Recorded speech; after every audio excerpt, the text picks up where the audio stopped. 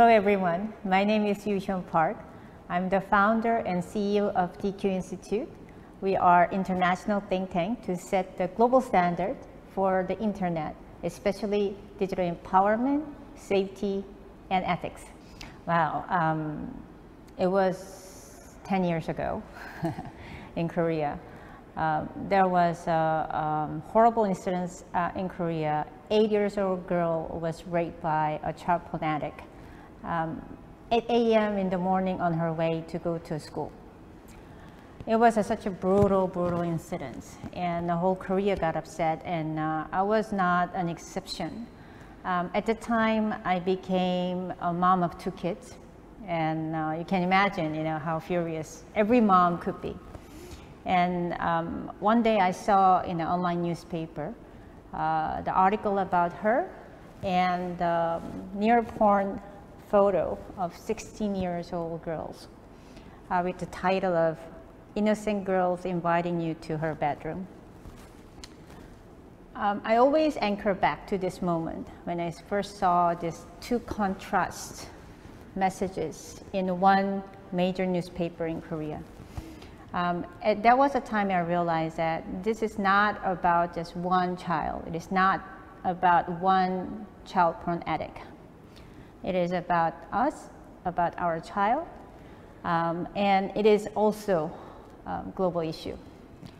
And uh, uh, fast forward, uh, 10 years later, we published a report this year, 2020, uh, Child Online Safety Index that um, look at the child safety levels around the world. We saw that 60% of 8 to 12 years old children have experienced at least cyber one, at least one cyber risk, cyberbullying, gaming disorders, um, fake news, privacy, and all other uh, problems. So um, it indicates that uh, we need to work hard uh, to protect our children. At the same time, we need to empower our children to thrive in this digital age.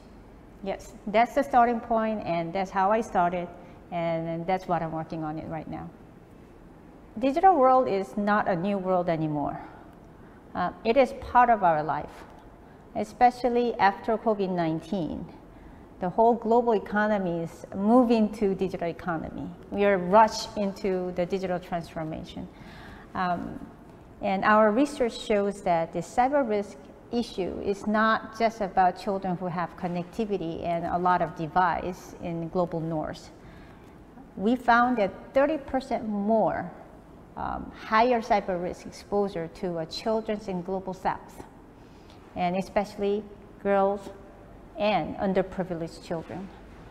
Um, it is not an issue of um, one child, one to, um, uh, subgroup of children. This is, a, this is actually a global challenge that all of us have to uh, all of us are living in and all of us have to uh, figure it out. Yes.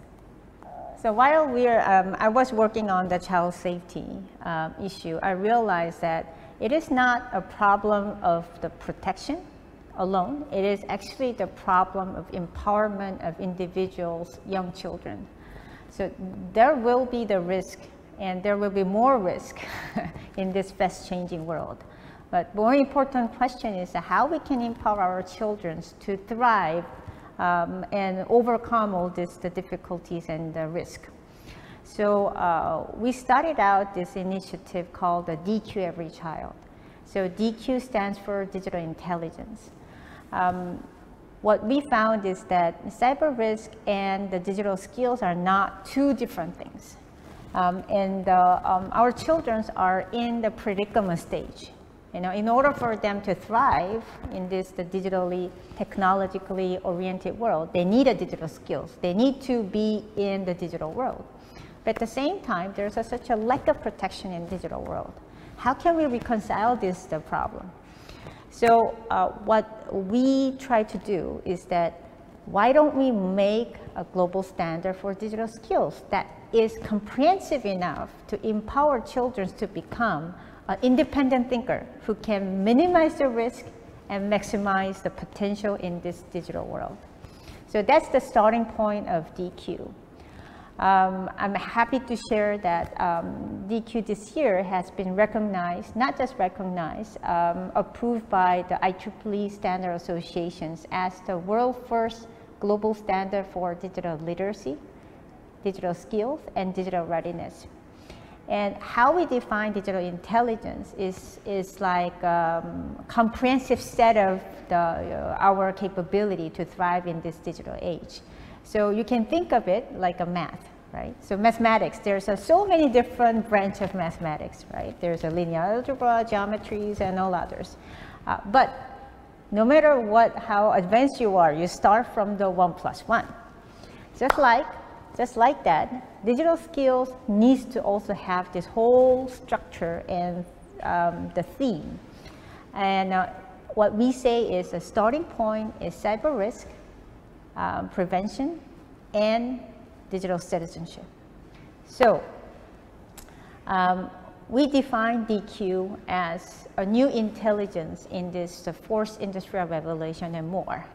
Just like IQ was invented in after first and second industrial revolutions, and EQ was born around the third industrial revolutions. DQ is a new intelligence that's needed for the fourth industrial, industrial revolution and more. Um, so along the line, we believe that DQ is not like something optional. Um, it should be part of the mandatory education and training for today's children as well as the workforce and more. Um, one thing I want to introduce more is uh, our initiative um, on the DQ Every Child. Um, while we are working on this online child protection, we found that it is so important that every child in this planet needs to have, must have digital citizenship skills. So now, uh, Global South, most young and vibrant countries in this universe, young heroes are coming to the digital world. Our job is how we can empower every this young hero to become real giant and hero. So that's what we aim to do in DQ Every Child. So we ran uh, from 2017 to this year together with the World Economic Forum as well as Singtel and Ashoka and about 100 partners. So we went to around 80 countries and empower more than a million children. And with that knowledge, our vision for the next 10 years is to enable literally now not about millions of children, it's really about billions of children and everyone uh, to have access to high quality digital intelligence educations and ensure they have the right protection from the dangers and risk and also they have right tools to learn about how they can be thrive in this coming age. Yeah. Um, Related to the vision, uh, I want to talk about the, the future of technology and vision. I think, I think it is critically important uh, for us to remember technology is meaningful, only meaningful when it enhances humanity. And this current cyber pandemic we name, about 60% of children are at risk of cyber risk. 8 to 12 years old. That means um, our current digital ecosystem is not necessarily supportive that statement that we made. So it is very important for uh, all of stakeholders, um, especially now with COVID situation, when this digital transformation is so much uh, became faster and real. Um, all the technology blooms up. I think we have to remind ourselves what is purpose of technology and how we can ensure humanity is center uh, in technology development. And I think there's a big duty from the social and uh, civic sectors to play a role. So far, technology has been a big push for the, almost every nation. And it was occupied by um, industry players and a lot of startups, great research has been done. but civic sector has been not very active in this field. Um, it is because it is a new area and it has not been much of um, area that civic sector has been uh, put much of attention. But I think it is very important that in, in civic society and social impact players and technologists and um, government, university have to be in the same table. And we have to really protect the citizen voice, freedom of speech, child online protections, and at the same time, the people's empowerment. It is so important. So um, with this opportunity of this summit, I'd like to encourage uh, the people who is coming to the social sector to think about this issue together. We solve this problem together. Thank you. So when we started the DQ um, in 10 years ago, our aim, 10-year goal was to set up the global standard for um, children's empowerment and protection. And with this IEEE standard and the um, OECD World Economic Forum uh, endorsement through the uh, Coalition for Digital Intelligence, uh, our 10-year goals was met. We are very thankful for all this partnership and um, the cost that we work together. And uh, um, we, we are very dedicated to work for next 10 years to build a social ecosystem um, that impact the business, policy makings, and serve every teachers and childrens to ensure that every child, every individual can access to the quality digital literacy and digital skills education and training. So we are starting the new initiative called Power by DQ. So whoever who has a digital literacy or digital skills or digital readiness program, online child protection program, please work with us uh, through our global standard framework. We want to empower you so that you can effectively reach out to uh, your children, your citizens, your workers, and your seniors more effectively. And I really think we should work together. Thank you. Hello, everyone. My name is Yuhyun Park. I'm founder of DQ Institute. Um, why I started this journey? I started this journey 10 years ago. Um, why? It was because I was a mom. Um, 10 years ago, there was a horrible incident in Korea eight years old girl was raped by a child porn addict at 8 a.m. on her way to go to school. It was a huge, disturbing, sensational uh, event, uh, not event, incident.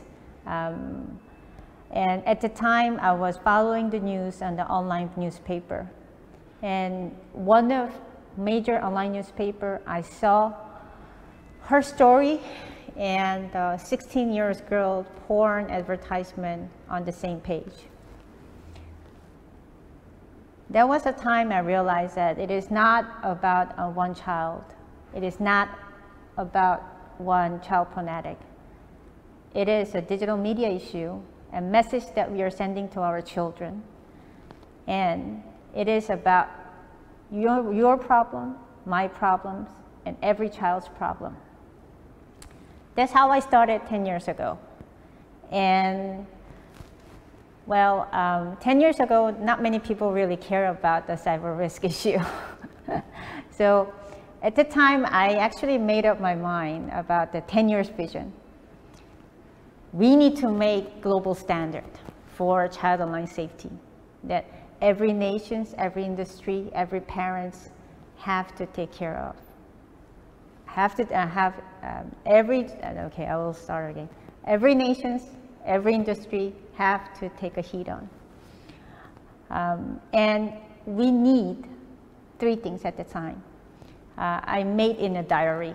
First, we need a global standard frameworks that every nation or industry can adopt.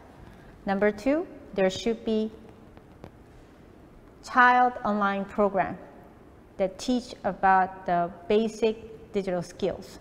We call it digital citizenship skills that any child around the world can access to. Third things that we need is the global measure index that can monitoring that can that can keep monitor uh, child online safety and digital empowerment of children. So that was the three goals that I had. Fast forward 2020, I'm happy to announce that DQ has been recognized as a global standard, world first global standard for digital literacy and digital skills by IEEE Standard Association, endorsed by the Coalition for Digital Intelligence with OECD and World Economic Forum. Second, we have DQ Every Child that brings the digital citizenship education to all nations.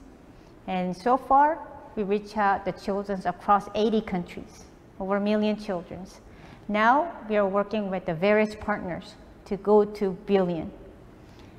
Third, we developed um, world first child online safety index that can help nations to understand their level of child online safety in a holistic level. And now we are working with the various partners, international organizations, to make it into common measure for child online safety and digital citizenship. So that's where we are, and we have a long way to go. And I want to invite every one of you to work together because this is not about one organizational issue. It's not about one person's issue or whoever issue. We have to work together, and I want to invite all of you to collaboration. Thank you.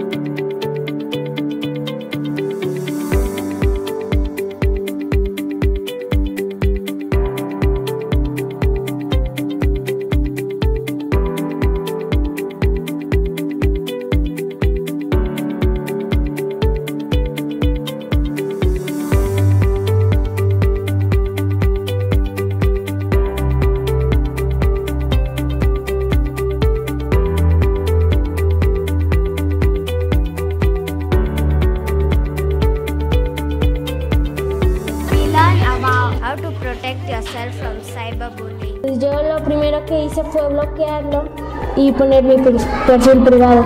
인터넷에서 하는 말 다 믿지 않아요.